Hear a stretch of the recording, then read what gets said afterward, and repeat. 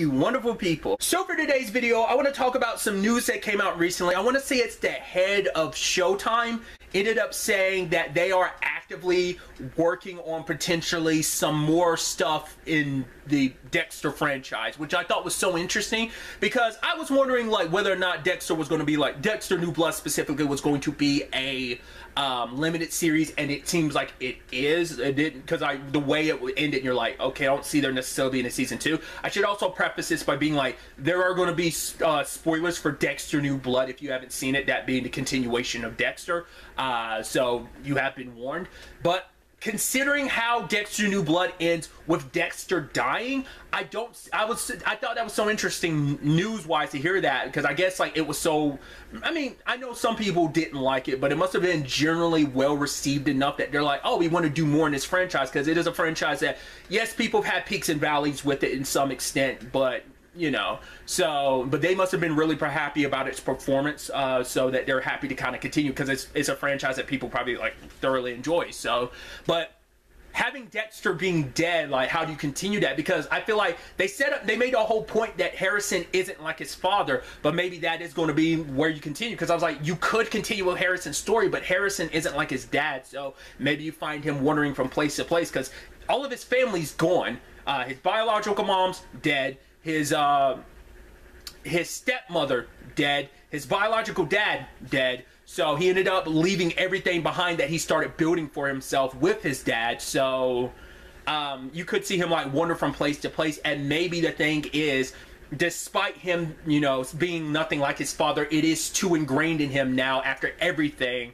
after um, after what happened to Rita, plus now killing his own father, that it shifted something inside of him. I mean, like the sad thing is, I mean, Dexter's been down that route before to some extent. I mean, he did kill his own brother. So, and I mean, to be fair, he also killed Deborah too. At the very least, took her off life support while she was like when she was in the state that she was in. So it's like obviously doing something like that will mess you up. Like he was doing the right thing. Like Dexter needed to be put down. But not, but part of me wonders could, if we did follow Harrison going forward, because I'd assume we would.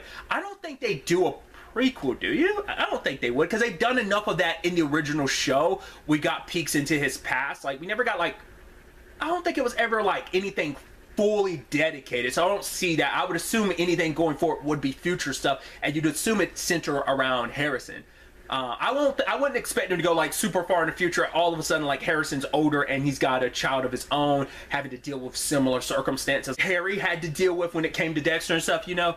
So, but like, I think that'd be interesting if you, if we did continue with Harrison, that basically he'd see Dexter just like he saw, uh, just like Dexter saw Harry and Deborah. But the thing is, he has bit mem- like memories of his dad, but he didn't know his dad that he didn't spend that much time with his dad now that he was older. So that'd be interesting thing. It'd just be obviously a projection, obviously of like um, him, you know, but it's like at least the people that Dexter saw were people he knew super well that knew him super well, whether it be his father or whether it be his sister. Like they, they are the two people in the world who knew him best, so it made sense. For Harrison, his dad was almost a stranger to him to some extent, but maybe they can manifest that as, as oh, this is the Dexter that Harrison as a kid remembers versus Harrison who's a teenager now, the one that had to kill his dad with the dark side and how much time they spent together. So maybe you can do the very angel and devil on your shoulder just because I mean, to be fair, like Deborah was always kind of sort of the angel, more so the angel on his shoulder, and so was. But Harry, I feel like played both because he played like, oh, I try to be your good natured side, while also, hey, let's balance out your like demon, your bad side. Like Deborah was all about, no, no, no, be good, be good, be good. She was all more angel. I feel like Harry was a little bit of both angel and devil on uh, Dexter's shoulder, so kind of bringing that full circle to some extent with like two Dexters, like rummaging through Harrison's mind. I don't know. Like I, I, I don't know if you you put that in a central location like you did like you know the original series and even New Blood. I'd assume you would, but I'd just be so curious. Once again, I'm, I'm throwing all this out here just it's speculation because nothing's confirmed. They're talking about the fact is they are actively working on stuff, but nothing's guaranteed. This is just something that could be like, oh, maybe maybe something does eventually happen of it. Maybe something never does. But you know, it's just an interesting thought because uh, I talked about this when I uh, with the uh, uh, finale of Dexter New Blood that I was like, I, I could see them continuing things, but I'd assume they wouldn't because they're no longer following Dexter. And once again, Harrison is nothing like his father, but it's like, right, you think that, but considering everything that you've been through, that trauma, it stays with you,